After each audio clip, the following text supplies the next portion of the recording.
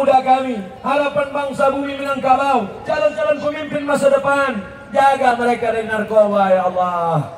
Jaga mereka dari virus HIV AIDS ya Allah. Jaga mereka dari LGBT ya Allah.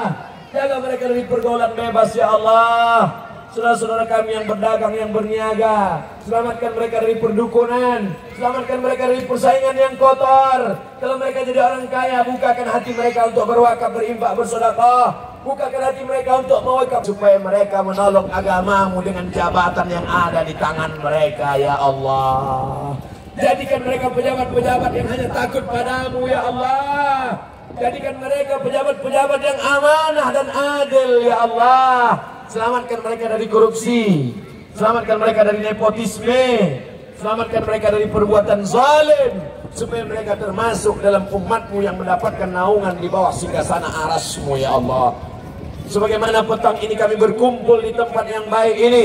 Di atas muka bumimu ini. Bersama orang-orang yang soleh. Satukan pula kami nanti di surga bersama Nabi Muhammad sallallahu alaihi wasallam. Allahumma akhtim lana bi husnil khatimah.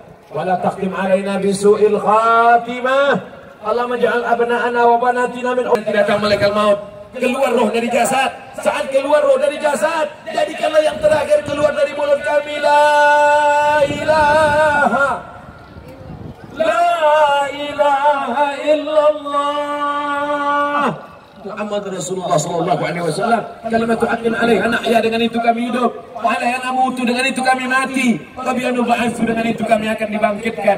Beberapa hari ini kami diperlihatkan dengan mobil mewah tenggelam rumah mewah tenggelam harta tak ada gunanya. Kami tak ingin hanya sebagai penonton tapi jadikan hati kami takut melihat itu semua ya Allah Saudara-saudara kami di Jakarta yang sedang kena musibah, lapangkan hati mereka. Jadikan mereka orang yang ridho menerima musibah.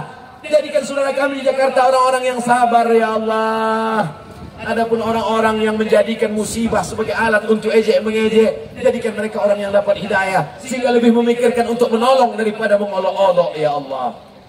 ربنا أتنا في الدنيا حسنة وفي الآخرة حسنة وقنا عذاب النار. وصلى الله على سيدنا ومولانا محمد وعلى آله وصحبه وسلم. والحمد لله رب العالمين. تقبل الله منكم.